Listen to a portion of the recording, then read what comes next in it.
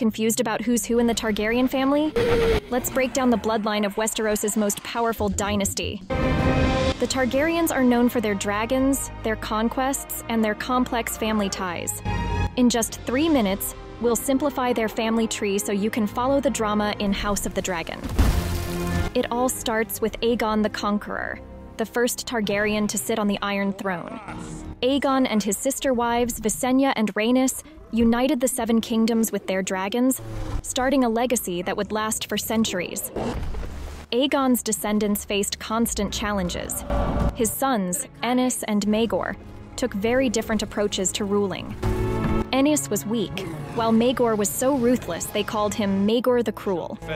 Fast forward to one of the most pivotal events the Dance of the Dragons, a Targaryen civil war between Rhaenyra and her half brother Aegon II.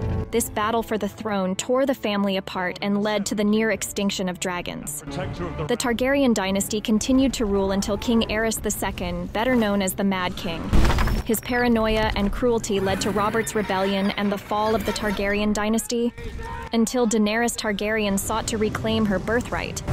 And there you have it the rise and fall of House Targaryen. Want to dive deeper into this legendary family's history? Like, follow and subscribe to What You're Listening To for more House of the Dragon insights.